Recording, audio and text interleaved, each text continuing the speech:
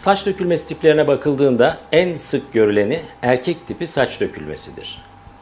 Her üç erkekten birinde görülebilen bu tip dökülmeler başın tepe kısmı ve şakaklarda saçların önce zayıflaması sonra da dökülmesiyle başlar.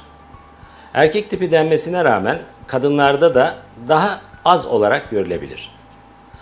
İkincisi alopesi areata dediğimiz bir hastalık ki bu halk dilinde saç kıran olarak da bilinen saç dökülme türü önce birkaç milimetre sonra büyüyerek birkaç santimetre çapında dökülmelerle başlar. Daha sonra bunlar birleşerek daha büyük alanları hatta daha da büyüyerek tüm vücut tüylerini, kaşlar ve kirpikler dahil kaplayabilir. Bir diğer saç dökülme türüne gelince az önce söz ettiklerimden daha seyrek olarak görülen ilaçlara, mantar enfeksiyonlarına, beslenme bozukluklarına, tiroid ve kadınlık hormonu bozukluklarına bağlı saç dökülme tipleri de bunlar arasında sayılabilir.